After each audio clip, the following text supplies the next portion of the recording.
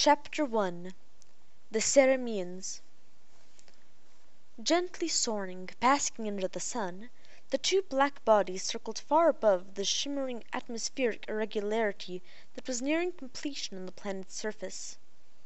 As high as a small mountain, the iridescent transparency, viewed from outside, covered a smooth hemispherical excavation in the planet's surface, two kilometers in diameter, except for an open pie cut, a not yet covered sector ten degrees wide.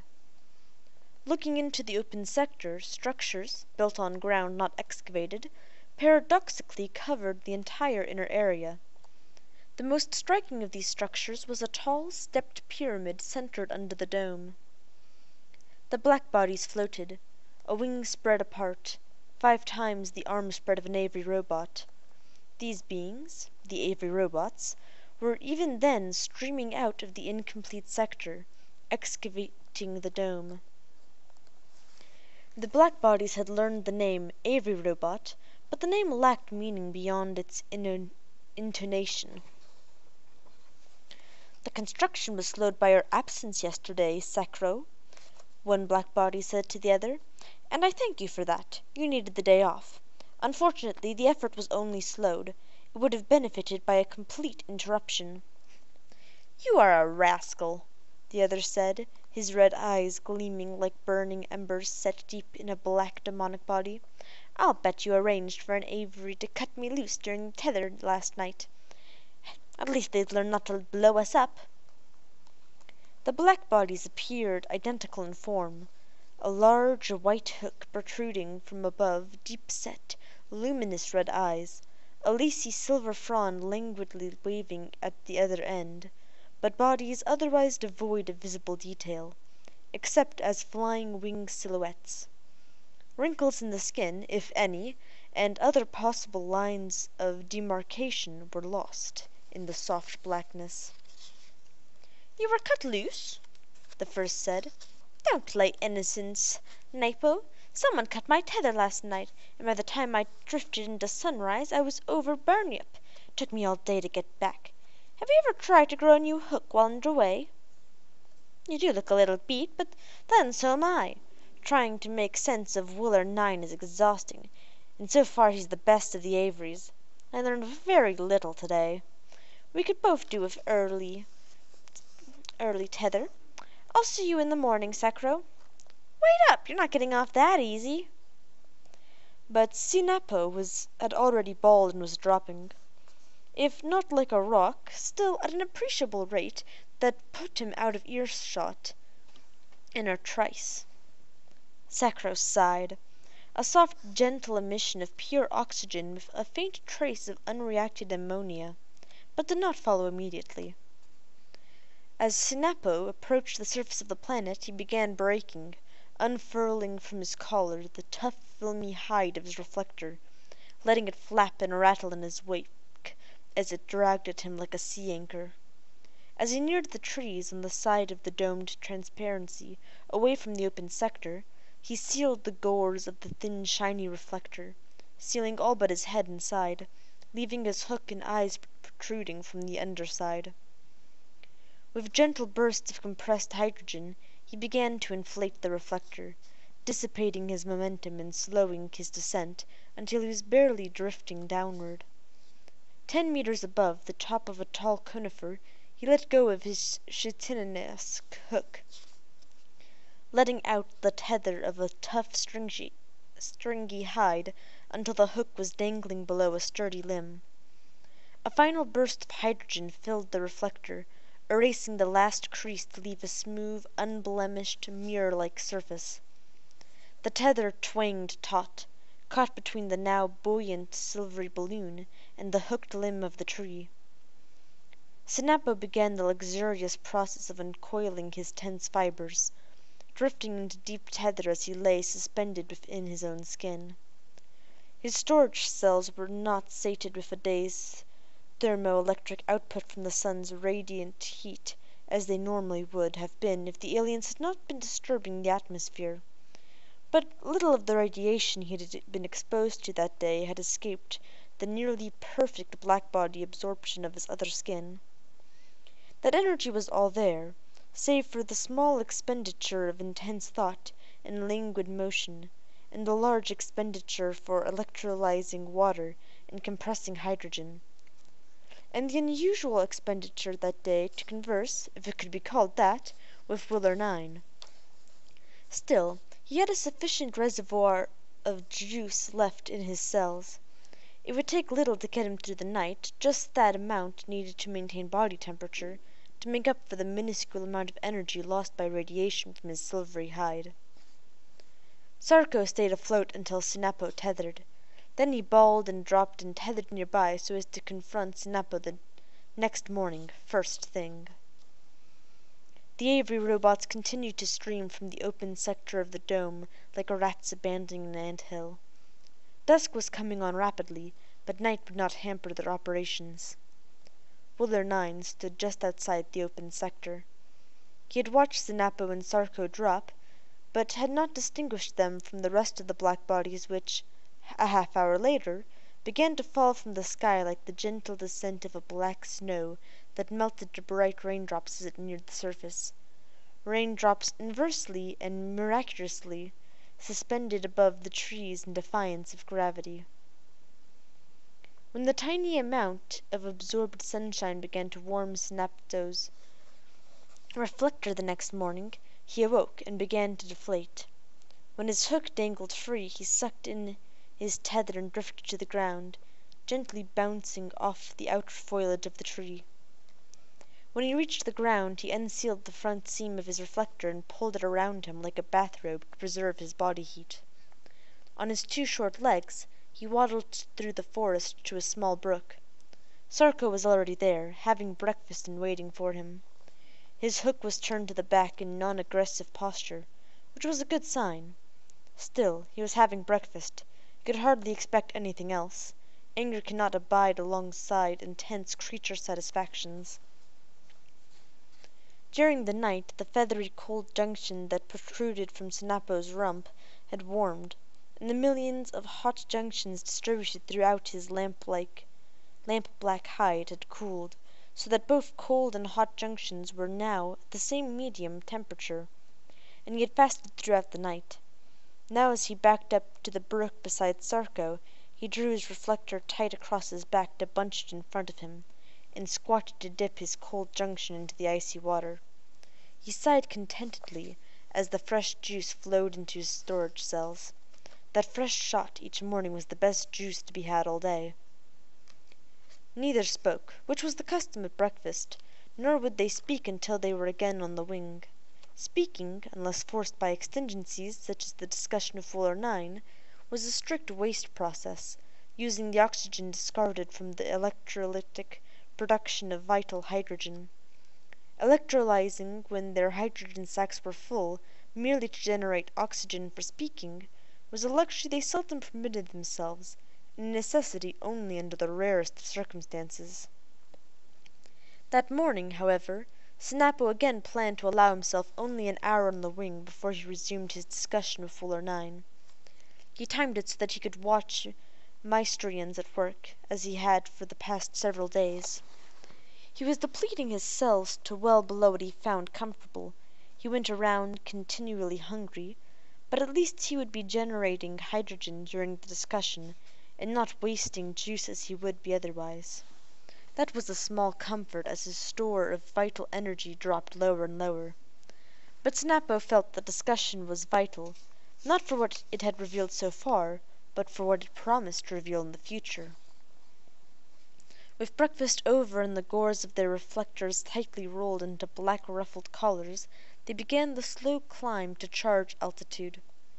Sinapo, with Sarko following, slowly circled upward with languid but powerful strokes of his great wings.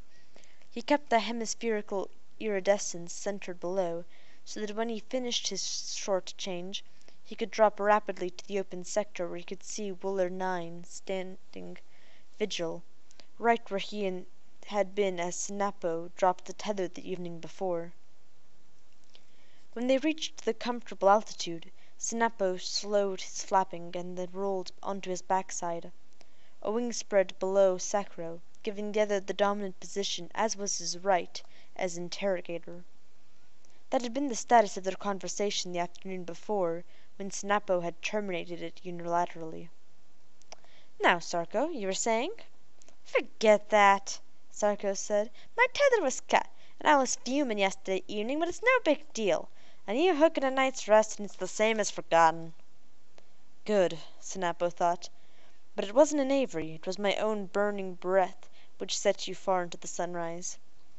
He wouldn't have stooped to such a childish trick if the situation hadn't warranted it. Did it? The thought that piece of unstatesmanship lingered, unsettling his conscience. "What is important," Sarko continued, "is getting the weather back under control and stopping the god awful screeching of those tin aliens on hyperwave. The weather I'll have under control as soon as my people finish neutralizing that node below. I figure to have the compensator complete day after tomorrow." "But the hyperwave is about to drive us all nuts. Haven't those metal morons heard of continuous modulation?" "Of course, that's the way they arrived," Snappo said. "But their discrete modulation of hyperwave and our small discomfort with the crosstalk on our continuous channels is a minor problem. The real problem is your construction of the node compensator. It's a mistake, Sarko. You'll have to deactivate the aliens only temporarily. And if I'm right, as I am more and more sure I am, you'll have succeeded merely in deactivating a bunch of servants, and probably not for long. But you will have irritated their masters, sure as the great Ptero is our guide." Mm, "And the Cerebrons, what do they come up with? The Maeostrians are at least taking action." In some contexts the plural Maeostrian tribal name is better translated as Maeostria, and the racial name Ceromian is better translated as Maeoceron to reflect the Maeostrian point of view. "We had a caucus yesterday afternoon," Snappo said. "I'll agree I'm close to a breakthrough Fuller 9. Whatever you do, don't close the compensator. You've already achieved better than 95% compensation. Meteorologically you've already won. You got until sun peak day after tomorrow to achieve your breakthrough, Snappo." There was no point in arguing further. Snappo rolled out from under Sarko and drifted off to the left while climbing a temperature gradient to a slightly cooler stratum. That inverted gradient so early in the day was a measure of the meteorological disturbance. The residual effects of the alien creatures the completed dome would eliminate. After an hour of charge he was still quite hungry, but none the less he bawled and dropped, wind whistling through the feathery frond of his cold junction, until he neared the top of the dome. Then he slowly spread his wings, breaking in a swoop that carried him on a complete circular inspection of the dome. He made one more pass around the dome lower now, looking for any sign of space time instability. Why did he care? The dome could have leaked like Nimbar and it wouldn't have mattered to him.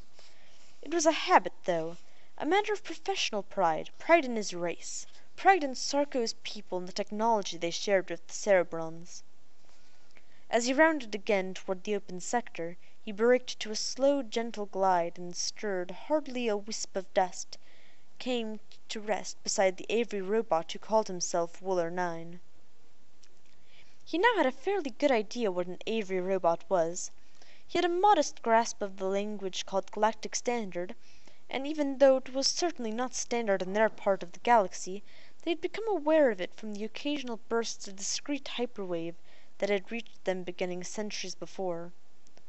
Translation of the language had been slow and incomplete lacking anything that might have served as a Rosetta Stone, but they had acquired a feeling for the language, in terms of the mathematical development of the species, and then, with Wohler 9 on hand, not quite an analogue of the Rosetta Stone, their fluency had progressed to the modest state Snappo now claimed. "Good morning, Wohler 9," Snappo said.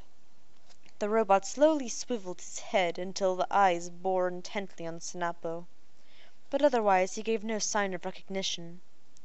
That did not distress Snappo. In fact he expected it.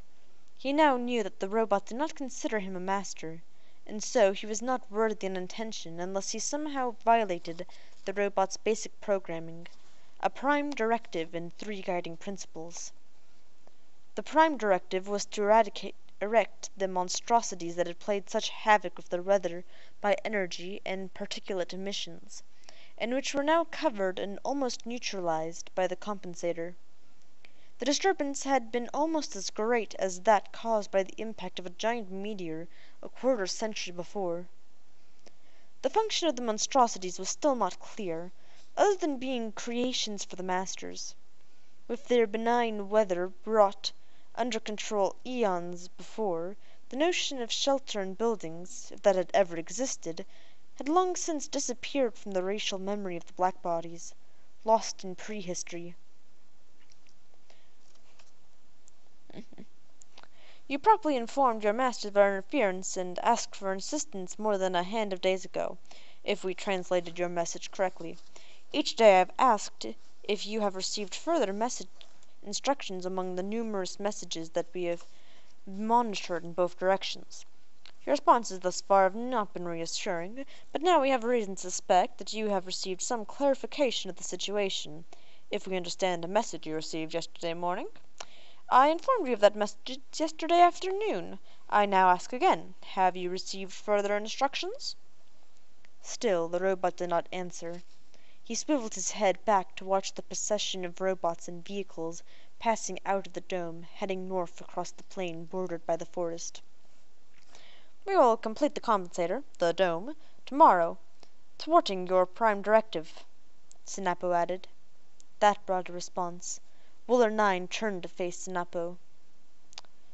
"Miss Ariel Welsh will deal with you when she arrives this afternoon," 9 said, and swiveled back to watch the evacuation. There was no point in attempting further dialogue. Sinapo took off and headed for charge altitude in a Cerebron caucus.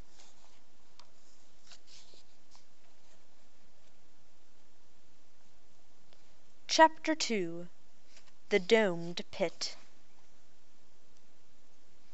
Ariel Welsh, in her typical fashion, came in too fast on a trajectory that was accordingly too flat, and she skipped off the planet's atmosphere like a flat stone hitting the surface of a mill pond. "Darn," she said, which seemed to understate the situation somewhat. She turned the controls over to Jacob Winterson, saying, "Here, you do it." "You should have asked me earlier, Miss Ariel," the robot said. "You must save yourself for the negotiations with the aliens. But I do have a few suggestions with regard to your approach trajectories in general which should benefit "Put a lid on it, Jake," Ariel said impatiently. None the less she watched the robot closely, and with a great deal of admiration, not only for his style of piloting, but for his superb appearance as well. She particularly liked to watch his biceps flex. She had acquired the robot only months before, the whim of a spoiled rich girl teasing a jealous boy boyfriend and rebelling against the mores of a bigoted Auroran society. Robots like our Jacob Winterson were not popular on the planet of Aurora. Neither the men nor the women of Auroran wanted to be upstaged by the perfect comeliness and superhuman strength of a human form robot. Human form was the term their creator, Dr. Han Fastolfe, had used to describe them, searching for a better term than humanoid, which hardly sufficed to describe Jacob. The Avery robots, like the ones she had once known as Wohler on the planet Robot City, could also be described as humanoid, but they were a far cry from Jacob. The simulation of a well muscled body that was Jacob Winterson was a reflection of that era when bodybuilding was the vogue of a stagnant Auroran society. She watched him now as he plugged himself into the ship, a small two man jumper with a cockpit just big enough for the two of them. She should have used the ship's computer to set up the proper approach trajectory, just as she was about to do, instead of coming in cowboy fashion, hands on. She watched the thick muscles at work in his bull-like neck, watching the flexing of biceps the size of piano legs, corded by thick veins reaching across his powerful forearms. She had prevailed upon the ancient Vasilia Fastolfe, the estranged daughter of the famed Dr. Han, to delve deep into the catacombs below Aurora's Robotics Institute and bring out Jacob from among the thirteen humiforms left over from the aborted campaign to sell them to a recalcitrant Auroran public. She had never seen Jacob naked, though Derec didn't know that. Vasilia had brought him up from the depths of fully clothed, and then he seemed so real, so alive in the human sense, that Ariel had never explored beneath the surface of the ample wardrobe she had provided him. It seemed too much an invasion of privacy. The idea appealed to her, she had to admit, but not so strongly as to overcome her loyalty to Derec. In her mind her teasing was not a form of disloyalty, no matter how miserable it made Derec. Like the myriads of young women who had preceded her, she had no idea how miserable it really made him, or she wouldn't have teased him. On their third orbit, Jacob located their destination. The beleaguered robot city, Wooler 9, had described by radio after they had jumped into the system. Derec was apparently not in the city at the time. Earlier, Ariel had counted on hearing Derec's voice. Their destination was the second largest iridescent domed pit they had seen on the planet and the only one with a pie cut of city buildings that extended to the center of the shimmering pit. Jacob laid in a trajectory that would bring them through the atmosphere to a landing on the open plain half a kilometer north of the dome and near the path of evacuation of the Avery robots. And then, with the help of the jumper's computer, he executed the maneuver flawlessly. They disembarked less than fifty meters from the line of evacuation and commandeered a large courier robot carrying two packages. "Return to the city," Ariel said as she sat down on one of the packages and motioned Jacob to sit down on the other. She would have liked to sit, have said, "Take me to Wohler," but the non positronic brain of the courier would not have been capable of interpreting and executing that command. As they neared the open sector of the dome, towering a kilometer above them, Ariel said. Can you raise Wohler on the radio, Jacob?" "I have, Miss Ariel," Jacob replied. "He is standing over to the right of the opening in the dome." The robot pointed and said, "There, by that large open lorry." Up close the paradoxical nature of the huge iridescent bubble became more dramatic as Ariel looked down through the flickering wall of the dome into the pit that seemed to underlie a city built on solid ground. Looking through the wall and the opening at the same time, the city seemed to float above the evacuation. It left her feeling decidedly uneasy. "Take us to Wohler," she said to the courier. They disembarked at the lorry and walked up to Wohler 9, an imposing gold machine standing at the front of the lorry and facing the stream of evacuating robots. "I am Ariel Welsh," she said. "I know," said Wohler 9. "What is going on here?" Ariel asked. "We are moving the necessary material for construction of a second compass tower and city on the other side of the plain, five kilometers away." "Why?" "This dome will soon be closed by the aliens, blocking all traffic into and out of the city." "Why?" "That is not clear. Where is Derec Avery? I do not know, since he is not on this planet." Ariel took a moment to absorb that. When did he leave? He has never been here, the golden robot replied. Now she felt slightly ill.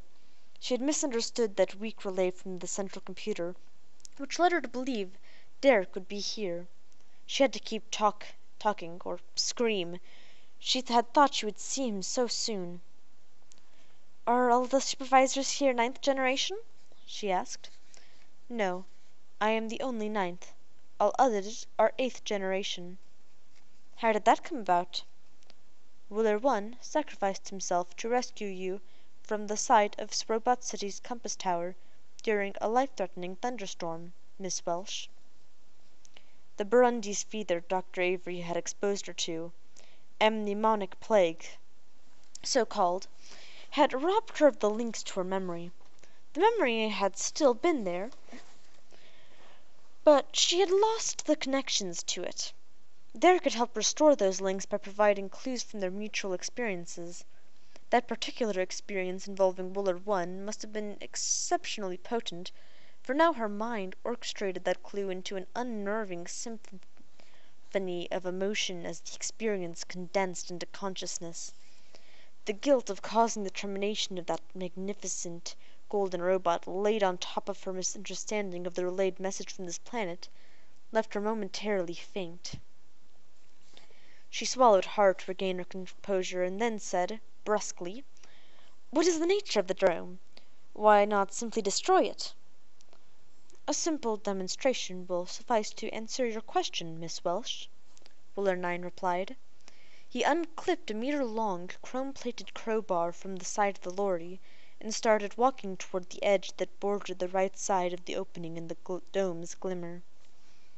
Ariel and Jacob followed him and as Ariel approached the interior of the dome, getting a little ahead of 9 in her impetuous fashion, she could see up close the soft blackness of the lining, a blackness that demarcated the end of the ground and the beginning of what seemed open space. Looking down at it sent her into a dizzying subjective vertigo. She seemed to spin it in that black space as it drew her down, sucking at her mind. "Under no circumstances come closer than half a meter, Miss Welsh," Wohler 9 said as he casually moved his arm in front of her. With that warning she seemed to come back to her senses, and she moved back out so that she was facing the edge from a distance of a few meters. Her head cleared, and from that position she could now see along both the inside and outside walls. Wohler 9 then approached the edge of the wall to almost that half meter limit himself. He stopped then, facing the inner wall, and said, "And don't become confused. The wall may seem deceptively far away." He took a baseball batter stance then, and with a lusty swing that brought the crowbar around in a horizontal arc perpendicular to the wall, he struck the edge of the dome with the middle of the crowbar. Without a sound, the edge of the dome, like the edge of a super sharp tool, cut the crowbar neatly in half. The far end of the crowbar sailed off; the near end stayed firmly in Wohler 9's hands as he completed his swing. Then he casually tossed the remnant toward the inside wall. Ariel's eyes had followed the flight of the far end of the crowbar until it hit the ground and stopped skipping. She looked back just as Wohler 9 tossed the piece left in his hand toward the interior blackness. That piece seemed to have curved in toward the blackness a fraction of the distance it would have traveled if he had tossed it straight up in the air with the same force, and then it came shooting back out on a parabolic course obviously calculated to hit no one. It landed behind him at a distance equal to the distance it would have traveled in front of him if the wall had not been there. Now, a second demonstration will point up and clarify the dome's external characteristics. He picked up the half crowbar that had just sailed back out of the blackness, walked over, tossed it into the lorry, and then unclipped two sections of the tubular pole from the side of the vehicle. When he fitted the two sections together he had a pole about five meters long. From a locker he took a large piece of white cloth that he followed, unfolded, and tied to the pole to form a square flag, a little less than four meters on a side. With the flagpole in hand, he walked along the outside of the dome until he was three or four meters from the edge of the opening. Ariel followed him. They were walking along the edge of a deep, shimmering, hemispherical pit two kilometers across and a kilometer deep. From that viewpoint there was no evidence of the city that they knew existed inside the shimmer. Under no circumstances let any part of your body touch or project into the transparent dome, 9 said.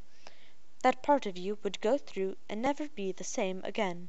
Now observe the flag. He pushed the flag through the dome's glimmer. It seemed to disappear. Perhaps it appears to be gone, he said, waving the pole, but look carefully at the far side of the pit. At first Ariel could see nothing unusual on the other side. But after a moment, after looking more carefully, she finally saw a tiny white flag waving, far away, two kilometres away on the other side of the pit. Wohler 9 laid down the pole so that it still projected into the dome. It did not lie flat on the ground. The near end hung suspended, slanting into the dome of the ground. The tiny flag on the other side of the pit disappeared into the grass. Two further observations, for which we'll use the lorry. He left the pole projecting into the dome, retrieved the other half of the crowbar from the deep grass, tossed it into the lorry beside the first half, and stepped in to stand at the rope driver's station.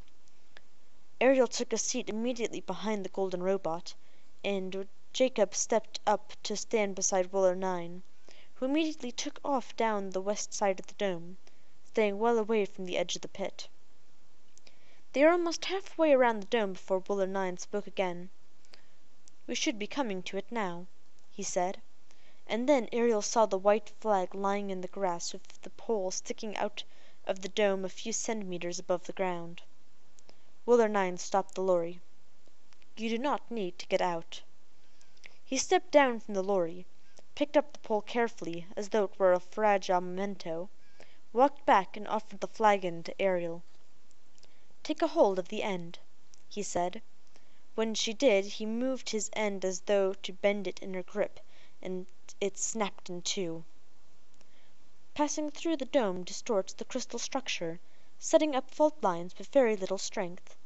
Now, one last observation, this time inside the dome.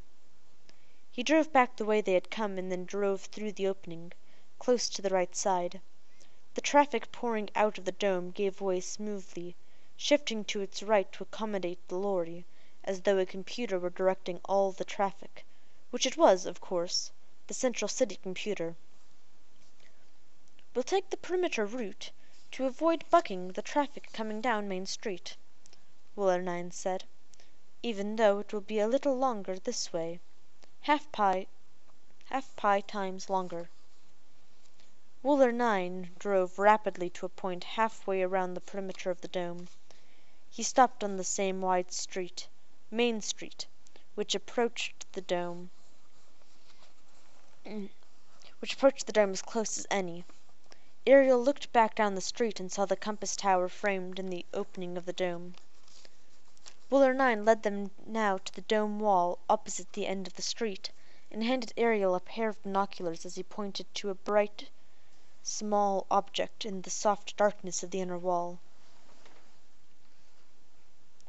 Ariel put the binoculars to her eyes, and with the focus wheel at the infinite setting, she could just barely make out a shape that had the appearance of a small two man flyer headed toward them with its landing lights on. This is the final test of the drone, which we began earlier this afternoon, 9 said. Right now, the flyer is held by the gravity of the black concavity at a virtual distance of four kilometers. It is headed toward us, but held motionless by the black concavity with the flyer's impulse engines throttled back to 75% capacity, equivalent to an acceleration of 10 g's. We plan to bring it in now. Its fuel is almost depleted. Ariel had a hard time taking the binoculars away from her eyes. She turned to hand them to Jacob. "Here, I want you to record this," she said. "I want you as a witness. Derec's not apt to believe any of this." "Thank you, Miss Ariel," Jacob said, "but with my fifty power binocular vision I have already recorded the unusual operation of this flyer." Ariel was tired. It had been a long day already. Altogether too much for one day. Too much sensory stimulation, too many strange ideas, too much emotion. She missed Derec and felt inadequate to the challenge presented by this alien world. "Unless you have further exhibits and demonstrations, Wohler," Ariel said, "I would like to shower and freshen up. Later, after some dinner, you can give me a detailed report." "I have just ordered in the flyer, Miss Welsh," Wohler 9 said. We shall now proceed immediately to your apartment." As they drove down the broad street toward the compass tower, the faint sound of the flyer grew louder. Ariel turned to watch its lights growing brighter now in the soft darkness surrounding the city. She had a hard time taking in everything she had seen in the short time she had known Wohler 9. Then she could see the flyer growing larger with her naked eye, until it came hurtling out of the wall and screamed by overhead, spiraling up over the compass tower and out the opening in the dome. And thus ends the first part. This is very, very long. Um, yeah. so when I put down before, and I said this was going to be a 15 part stuff, it's actually going to be 16 parts now because some of those chapters are long enough to merit being its own part. So, it's going to be a bit longer and the size distribution of chapters is very interesting because a bunch of the chapter the first few chapters are really really long and then the further you get in the book the shorter the chapters get so some like parts well pretty much yeah like part 14 is going to be three different chapters and so is part 9 I was going to have part three be also a three chapter part, but since chapter 30 was also super short, it split up into part 15 and 16. So, yeah. No, it's uh quite a bit. I'm flipping through and it doesn't really seem like uh, Derec's really in this book too much. Like I'm, yeah, I'm flipping through. There's some stuff about Derec in chapter 16. There might be some earlier than that. I'm not flipping through this book very well. Anyway, that is it for this first part. There's going to be a couple others that are going to be probably as long as this. I haven't recorded a chapter this long in ages. There's a reason why I've been doing like one chapter apart in the past until I've started Robots and Aliens. Anyway, that's all, and I hope you are all having an enjoyable day this far. Bye!